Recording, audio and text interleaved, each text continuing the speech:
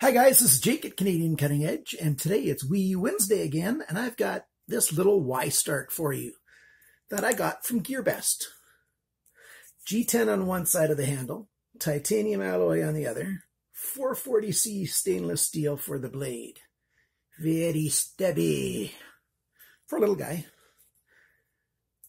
I'm enjoying this blade a fair bit. It's got some rough edges in some places, but it's got some really good things in others. If this would have been my first exposure to Y-Start, maybe I wouldn't be as keen on the brand as I am, and I'm still very keen on the brand. And uh, that's because this blade, at least my copy, has got one issue that's somewhat significant, but easy enough to fix. Comes with a leather pouch to carry, and the way I like to carry this knife is in the leather pouch, and then I hang it in my pocket with this. And I showed this to you on Monday. You know, you slip that over your pocket.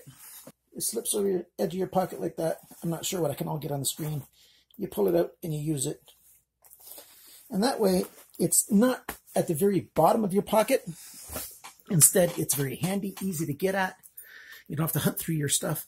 That's especially because I tend to have a fair number of things in my pocket. I've probably got this. I've got some keys maybe have some change, a lighter perhaps, you know. So having it this way, you know, you can pull on it and you get it right out. And then you just pull your knife out of that and your knife is totally free, not encumbered by a bunch of keys or anything. And you can go ahead and use it all you want. And then when you're done, you just stick it back in your pouch and you're all done. And this is a, a one-hand opening knife. No problem with that. It's got a thumb flipper there, I can't seem to get to use it very well. I don't know if that's me or a problem with the knife. I think it's probably a little bit of each because the detent is actually fairly strong to hold the knife in. And to overcome it with this, it just doesn't give you enough. You need a little bit more distance away from the pivot to get a good amount of pressure, you know. You need a little more distance from the fulcrum in order to get it to move and, you know, turn around. So there's a couple little things about this that uh, might not be the best, but there's enough good about this that I'm going to give you a full review in case you want to buy one. I started carrying this thing when it still had the pocket clip on it, and I've taken the pocket clip off, as you can see. Pocket clip is right side only. and uh, it has this uh, milled out section that it sits in, and it's pretty well, and it's very functional. Uh, it also serves as a bit of an over travel stop, so you don't push the uh, frame lock out too far. But it doesn't work in the pouch if you've got the pocket clip on. So I took it off, and I'm using it this way, and I like it this way. I'll show you pictures of it with the pocket clip on, and you know that'll be that. But for my rest of my review, I'm showing it to you without the pocket clip. Uh, this titanium alloy is a stonewash. That looks pretty good. They did a good job with it, as far as I'm concerned. And here we've got G10, pretty good traction on it. And you've got Y-Start's name, brand name milled into there. And Y-Start is also, if I can get it to look just right, you can see it on the blade right there. And it says Y-Start. I like that minimalist kind of on the blade. I would like, though, if they would have also put the steel type on the blade as well. 440C isn't any steel to sort of sniff at. It's a pretty good steel. You know, 30, 35 years ago, it was the premium steel, you know, so it's still a decent steel. It's a, I would call it a mid to higher end budget steel. And, uh, you know, just like 8CR13 MOV is a higher end budget steel even though it's Chinese. Uh, a lot of people don't want to give it any props because it is Chinese, but it is a relatively decent Chinese steel. The pouch, before we get out of our into our way, uh, this split ring did not come with it. I added that myself. So basically you get this pouch with this metal ring at the top, which is really good. I'm glad they didn't just punch a hole through there. This is much stronger this way. And they uh, imprinted Y-Start onto the leather there. That's um, in ink or something. It's not embossed into the leather. And then the stitching is okay. And, you know, it's half decent leather. It's not great. It's not terrible. It is what it is. And as I said earlier, with the pocket clip on it, it just doesn't work. Um, I also left this ring on here. I put this on here myself as well because for a while, and I might do it again, I was carrying it like this. And just, you know, you pull it out of your pocket and you either unclip it and use it, or often I just left it clipped on and I'd use it and then I'd put it away. Uh, both of which are reasonable ways to use it. So um, I'm still deciding if I want to take this off and use it just in the pouch or not. You might have your own way of carrying it and using it. And, you know, having these options is one of the pluses that I like about this knife. You have a number of different ways you can carry it. You can carry it with the pocket clip. You can take the pocket clip off and just drop it in your pocket. You can carry it with this pouch. Um, and you can carry it, you know, on a keychain. It's so many ways because it's not that heavy and it's not that big. 440C has a Rockwell hardness of around 57 usually. We've got uh, blade style. I'm calling it a clip point because we've got a clip here and then another angle, another clip here, and then we've got swedges on there as well. So there you can see that styling. Flat grind, saber grind, and then you've got your micro bevel at the end. Nice sharpener's choil. You've got a hole here, a sort of oblong hole for opening the blade. And it's really easy to get your thumb in there to open it. It's not that easy to do it this way, but it works this way as well. Uh, it's sort of a, works much better with two hands than with one, but you know, it does work with one hand as well. It's just sometimes a little bit trickier to get it started. Um, it's not the easiest knife to deploy the blade on. Uh, that's one of the cons uh, on this knife. I, I, wish it was easier to deploy the blade. I'm sure they could figure out something that they could have done to make it better to deploy the blade. This this jimping up here is for that thumb way of deploying it, and I was successful once. There, I got it again, but you know that's a lot of work, and it's very awkward, and it's two hands, and it's just it's just not working for me. And I think that it's a design problem and not a Jake problem right there. Uh, these studs here um, I don't know why they put a little uh, slot in there so you could unscrew them. Sure, you might be able to unscrew them and put them back on, but without those there, you've got no blade stop. That's your blade stop. So you need those on there. So they're they're not thumb studs for deploying the blade. Those are the stop pins. So yeah, we've got a back spacer, but it's a very small one. So it's very much like open pillar construction because you know, see, it's open pillar, but it's no pillar. It's just open backstop, backspacer. It's an open backspacer construction. And that backspacer is G10 and has a little hole for that uh, lanyard hole. Uh, you're not going to fit 550 paracord through there, but uh, you might fit some thinner cordage through there. Well, of course you can fit. You're going to fit cordage through there that fits through the hole, obviously. You've got uh, proprietary screws here. They're in a Y kind of design. And I've shown you in other instances that even at uh, Harbor Freight in the United States and at Princess Auto in Canada, you can get these custom security screws, uh, bits, I should say. And if you just file them flat, there's uh, three winged ones that fit and they're just fine. That being said, I took this apart in order to get you pictures of the bearings and stuff, and all I did was use two standard or two flat screwdrivers, one on each side. They were very snug and hard to turn, so I put it in that small vise that I have so that I have two hands to unscrew this. It's very hard to open this up if you don't have something to hold this knife in place. I you've I gotta tell you that it would have been impossible if I hadn't have used a vise to hold the knife. And then you've got this cutout here. It's kind of a weird shape, but uh, you know you got the cutout there in the G10 in order to get at that hole to, to deploy the blade. Traction's pretty good here. There's good uh, friction on there, so you know the knife stays in hand very well. Three finger grip, and your thumb up here. Fairly thick blade, very handy. I still call it a wee, wee knife. Usually I call a wee knife something that's got a two finger grip, but even three fingers, I'm going to leave this as a wee knife.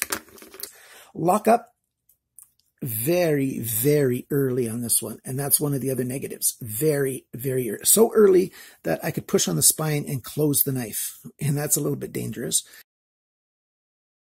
I took care of it by, you know, buffing and even filing a little bit on this face right here because it's got that lock face totally exposed. That's a really nifty thing about this knife if you need to adjust it. So all I did was file on here a little bit so that now when I close the knife or deploy the blade, I've got at least, you know, early lockup. And it's very early lockup, but at least it locks up reliably now.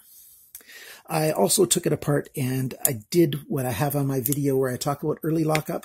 You can watch that video. I'll put a link to that video up here in the corner right now. I've got an early lockup video and how to fix it. And I did those things to this one and now it's working quite well. So that's a thing that you can come over. I mean, get over. Uh, no blade play, ball bearings inside there. No blade play, you know, anywhere, you know, when it's open or when it's closed. Lineup is absolutely perfect when the blade's closed. That's great. And it's a very comfortable knife. Now let's get to the dimensions. Uh, the cutting edge, 4.8 centimeters, 1.9 inches. Blade length, 5.3 centimeters, 2.1 inches. Blade thickness, 2.8 millimeters, which is 0.11 inches. The thickness of the edge behind that final little bevel is 0.53 millimeters. That's 0.021 inches. That's right down the, uh, I want it to be half a millimeter on, you know, a small knife, so it's right in that ballpark. The uh, handle length, so that's the entire G10 length, and on this side, titanium. 7.2 centimeters, 2.8 inches. Grip area is the same size. The handle thickness is 0.9 centimeters, which is 0.35 inches. The total length when the knife is open is 12.6 centimeters, which is exactly 5 inches. It weighs only 1.2 ounces, 35 grams. Uh, I did weigh it without the pocket clip. With the pocket clip, it's like 33 grams. You know, it's still 1.2 ounces, maybe 1.25 or 27 or something. I didn't get the exact measurement because it's very light. If you count the uh, pocket, uh, sorry, the pouch as well, together it's 45 grams, uh, 1.6 ounces. Not bad. Until Saturday, September the 2nd, 2017, the black version of this is on a sale, a flash sale at GearBest, $15.99 US or $20.21 Canadian. Uh, in the US, you got to pay 255 shipping. In Canada, you got to pay 327 shipping. And that's if you just buy one item. If you buy two items, you know, your shipping goes down. So you buy a few items, your shipping goes down. So that's a very small shipping fee for something to ship all the way from China to Canada or to the United States or to oh, Australia, someplace in Europe, you know, South Africa, wherever you are. That's not much to pay for shipping. I like Y-Start. I, I think the price is a little bit high for the problems I found. But if you really like the styling, you know, and you want something this size and shape, those problems can be overcome. So the pros on this, I like that it comes very sharp. I like the that it's a flat instead of a hollow grind. Um, the blade styling is, you know, very good. I just love this wedge and then the clip point right there. It's, it's really, really nice. Um, I like that you can use standard drivers, even though it is a proprietary screw here. Um, I like the good detent. I'll show it to you again. Just at the last little second there, it pulls it in and it holds it quite well. I like this leather pouch. It's a good option, gives you more ways to carry it. Uh, cons, lockup is too early way too early on mine. And even still, it's a bit early. Um, I'm going to let it wear for a while. And if it doesn't start to wear down, then I'm going to do some more work on this uh, edge right here and try to bring it down a little bit so that the lockup will come in just a little bit further to be a little more secure. Uh, this flump, thumb flipping thing here, that's a con. It doesn't work. Uh, they shouldn't have made it that way.